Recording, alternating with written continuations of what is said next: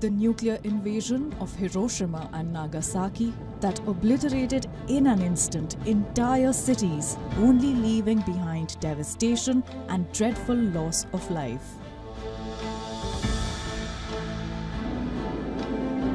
Today, between themselves, the world's nuclear armed states hold approximately 12,512 nuclear warheads, each capable of inflicting catastrophic damage.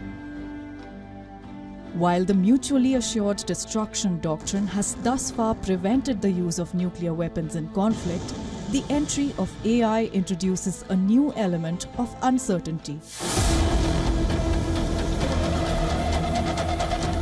The question was raised by a senior US official who is urging China and Russia to match declarations by Washington that only humans and never AI will make decisions on deploying nuclear weapons. We certainly, uh, you know, have made a very clear and uh, strong commitment that in cases of nuclear uh, employment, uh, that decision would only be made by a human being.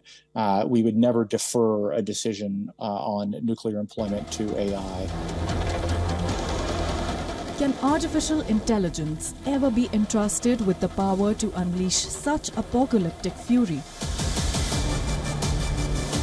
The very thought sends shivers down the spine. When researchers pitted AI programs from leading tech companies against each other in simulated conflicts, the results were unsettling.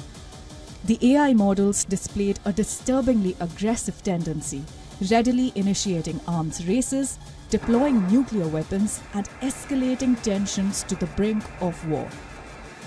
The logic of we have it, let's use it highlights the potential for cold, calculated destruction the need of the hour is to ensure that despite AI being added to the strategic matrix, the nuclear red button should be kept at bay from these intelligent machines.